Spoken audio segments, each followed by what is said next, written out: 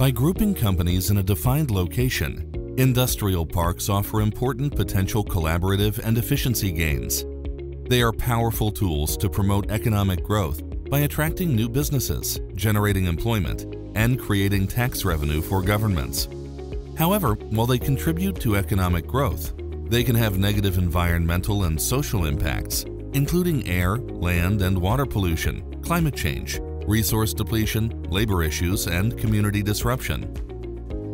The eco-industrial park concept has evolved over time to address the environment and social dimension and interrelated aspects, such as resource efficient and cleaner production, industrial symbiosis, climate change, pollution prevention, social standards, shared infrastructure and services, and optimal spatial planning.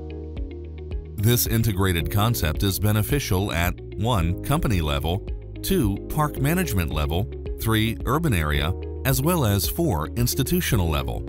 Since 2014, UNIDO and the Vietnamese Ministry of Planning and Investment have joint forces in the implementation of Eco-Industrial Park Initiative for Sustainable Industrial Zones in Vietnam, thanks to the support of the GEF, Swiss government, and UNDP. By working with park managements and provincial authorities in four industrial parks, 680 improvement options were identified in 53 resident companies, which led to a total avoided annual demand of more than 22 gigawatt hours of electricity, 607,000 cubic meters of fresh water, 141 terajoules of fossil fuel, 3,558 tons of chemicals and waste, and led to a decrease of 32 kilotons of CO2 EQ every year. The project also mobilized almost 10 million euro from the private sector, leading to 2.8 million euro savings every year. The average payback time of these investments is just seven months. A number of industrial synergies between companies were identified, such as A. To reuse wastewater and waste material of one company as an input to another company. B. Recover waste heat.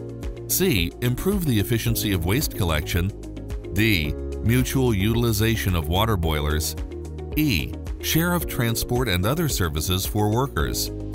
A total of 2,500 decision makers and technicians were exposed to or trained on the EIP concept.